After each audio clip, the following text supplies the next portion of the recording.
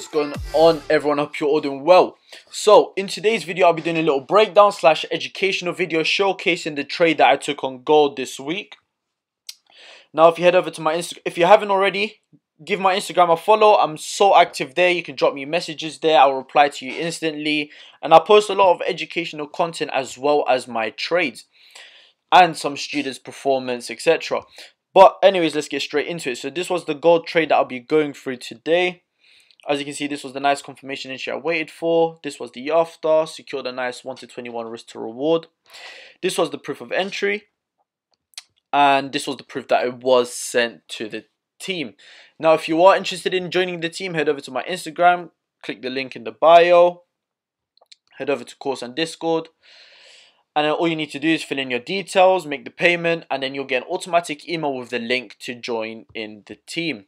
But anyways, let's get straight into the into breakdown. It. So, why I started to look for sales. First thing I identified was all of this inefficient price action that I knew needed to be filled in.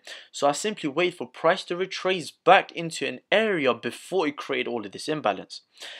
And the area before it created all of this imbalance was of this one hour pivot point right over here. This nice supply zone at this area here.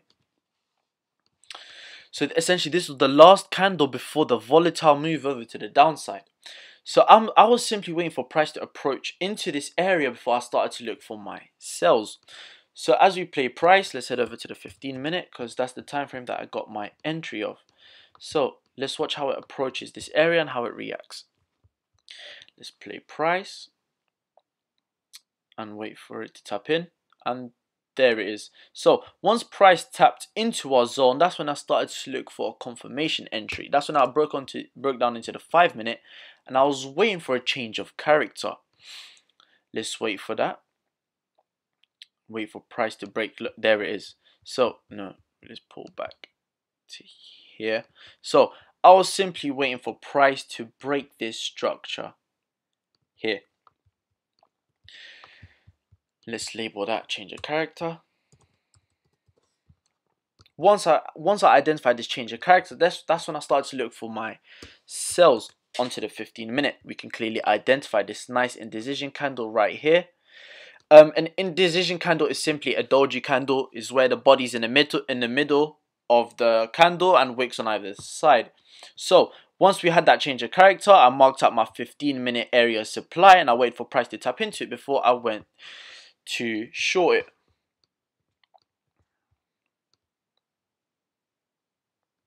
There it is, and then I was simply targeting a, what an area of demand on the hourly, which was this point over here. Let's mark that out.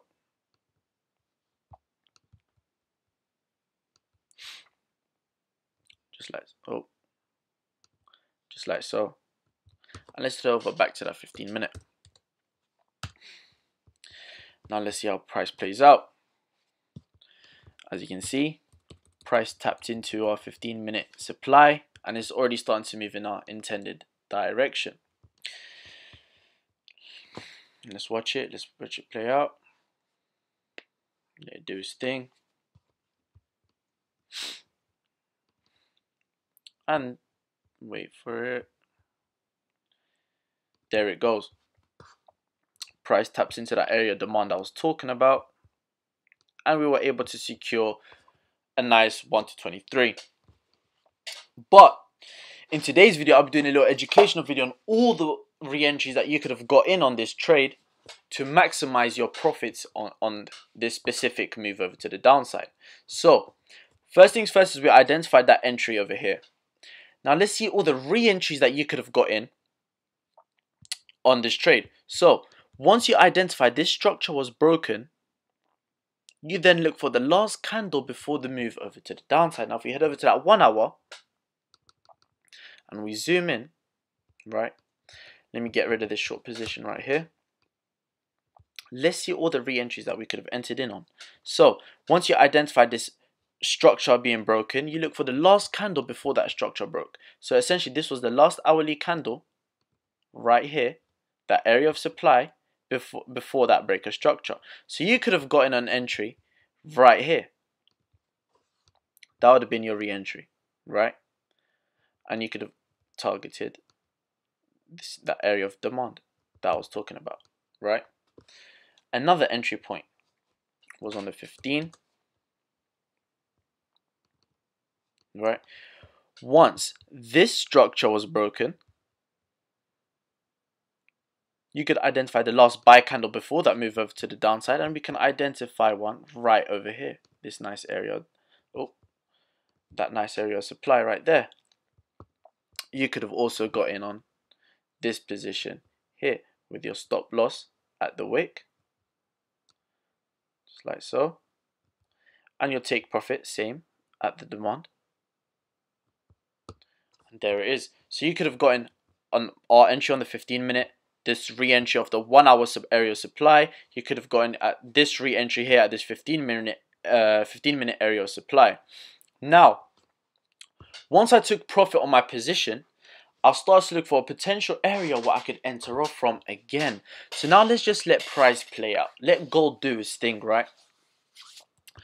The first thing that I noticed was this imbalance that was created right over here. And what do we know when there's inefficient price action? We know that price must come back and fill it in, right? So I kept my eye out for any sells that I could take to fill in this inefficient price action. And then secondly, what did what I identified was this liquidity that built up at this area over here. So now let's get rid of all of these short positions because we already went through the entry points. So as you can see, there was all of this liquidity that was building up here, right? So one, I knew that this liquidity needed to be taken out. Two, I needed I also knew that this imbalance needed to be filled in. And now three, I was looking for an unmitigated supply that hasn't been tapped into yet. And as we can see, we can identify a very nice 15 minute indecision candle at this point over here. And this was a trade that I got into. If you head over to my Instagram, uh, where is it? Right there. Let's get rid of this real quick. Okay, let's head over here. Head over to my sniper section and then you'll see the entry of this trade that I'm about to show you right now. But anyway, so we now know that this liquidity needs to be taken out and we also know that this imbalance needs to be filled in. And there was this unmitigated area of supply that needs to be tapped into. So now we let price play out. Let's see what it does. There it is. Look how quick that was. Price tapped into that supply. It wiped out this liquidity and it came into our area to fill in all of this inefficient price action. So you would have got yourself a nice 1 to 6 on this trade. These are all the possible entries you could have gotten on gold using just one simple strategy and that is supply and demand. That is all you need to master your trading.